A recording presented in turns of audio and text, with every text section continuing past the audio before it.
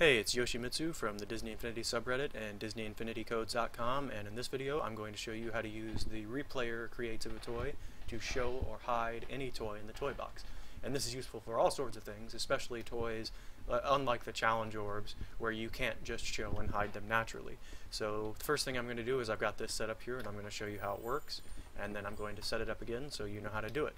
Um, on the left side I've got my uh, recording switch and on the right side, I've got my playback switch. So first I'm going to show you the playback.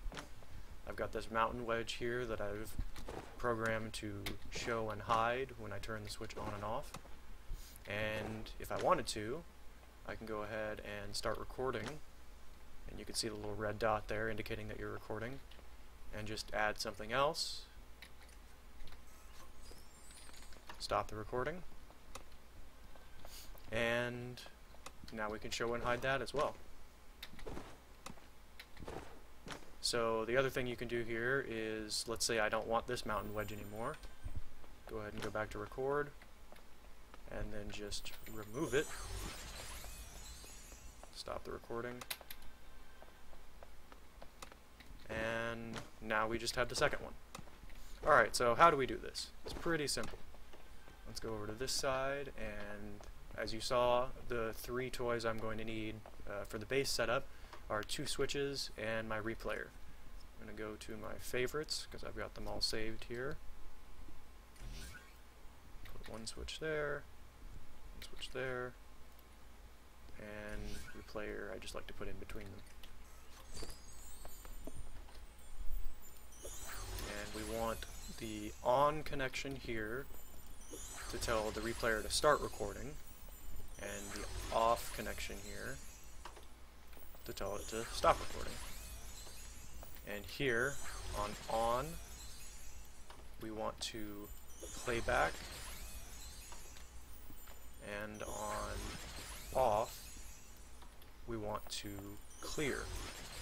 So I'm going to choose clear, but you should know also there's the reset option down here, and you'll you'll probably want a different switch if you're going to do that. That's how you actually clear everything from its memory. So if I have something set to reset, it'll just get rid of everything in the replayer.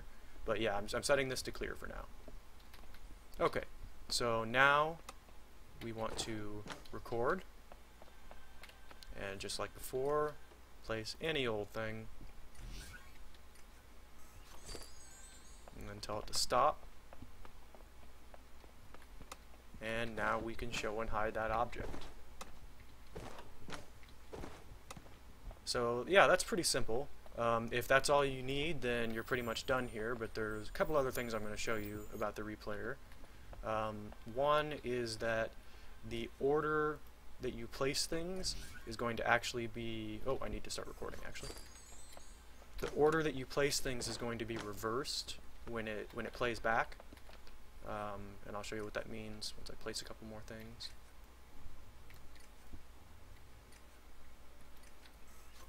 So when we go to playback, it's pretty quick right now. I can actually slow it down. So here we can change the playback interval. Set it to 1. This will just make it really easy to see what I'm talking about. So you'll see that as the th I put the things in are how they appear. So yeah, since I placed this wall first, it shows up, then this shows up, then this shows up, then this shows up, then this shows up. So if you want the last thing you placed to be the first thing that appears, you can go here and change your on connection instead of playback to reverse playback. Pretty simple. So now we go back here, and now we're in the other order. And depending on what you're doing, that can be really handy because you may want if, if you're building a large setup, let's say, uh, you may want the last thing you place to actually show up first. So yeah, that's possible. Um, another neat thing you can do with the replayer toy, and this will involve setting up a second one, but uh, when these objects are gone, they don't exist anymore, obviously. Um, I'm going to use actually a bigger object just to make it really clear what I'm going to be talking about. But I'm going to add something very large. Something that takes up lots of space. So yeah, like one of these terrain blocks would be great. So let's put it here, just so we don't interfere with anything else I've got recorded. Stop recording. Now it's gone.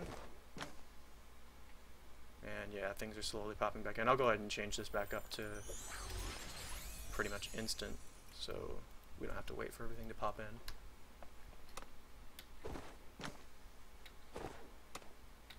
Okay, so we've got this large object here, right? Um, one thing you can do with the Creativitoy, the, the replayer toy, is you can put essentially two objects in the same space, and we'll set up another replayer.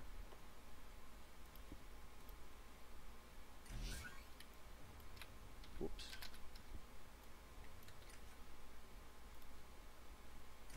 It's going to be just like before, so I'm going to kind of breeze through this.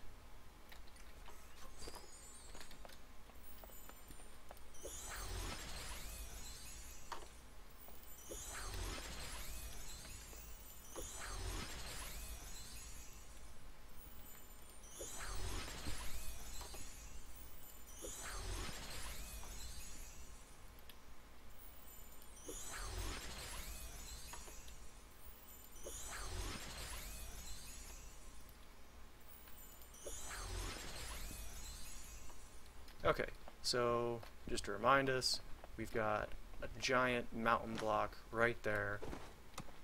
And what I'm going to want to do is I'm going to want to start recording and just put anything else there. Um, I'm going to make it, again, something somewhat large just so we can tell what's going on. So let's put a building of some kind. Uh, something bigger than that. I don't have most of these unlocked. I guess I can just go and buy one, but okay, that'll be fine. So let's go ahead and put this right where the other one is. So yeah, now obviously that's very much in the same space as the other toy. But we can hide it.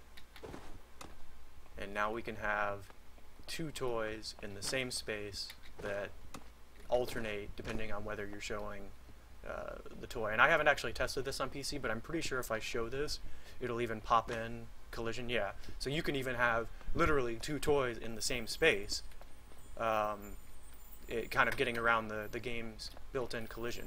And that can actually be, I, I, was just thinking of this as doing this video, but that can be handy for a whole bunch of things. I may do another video showing you guys what you can do with that. But yeah, so you can put two toys in the same space that way. Um, the other thing that I wanted to show you um, gotta remember what it was now. uh, well, I, I, mean, I guess that's that's pretty much it for now. i will probably do another video where I show you some of the other cool things you can do with the the replayer toy. But this is definitely one. Oh, I remember now. Uh, just a second. But this is definitely one of the most powerful toys in the game. Um, and one thing that I can show you with that. So uh, if you if you're playing on uh, a console, let's say, you have to pay close attention to this meter over here because it will keep track of like how much stuff you can have in the toy box.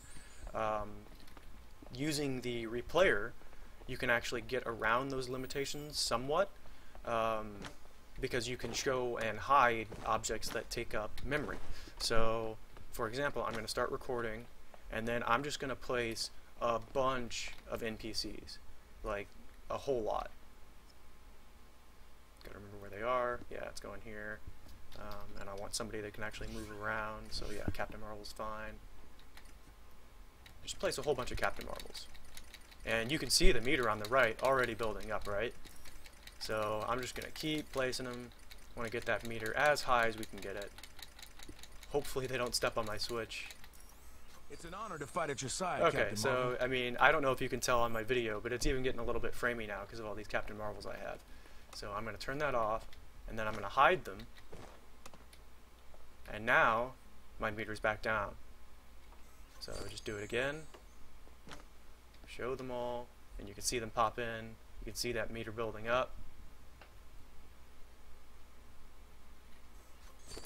And yeah, this is actually still set to delay their appearance, so they'll take a little while to pop in. But as you can see, you can hide a good amount of stuff with this toy. And one video I've been wanting to do for a while, may do in the future, um, is showing kind of uh, how you can adjust your draw distance and you can make really big cities uh, by just showing and hiding things as you need to draw them. Uh, you, it could really help you get around the toy box limitations um, using this toy. So that's it for now, and I'll see you guys again in my next video.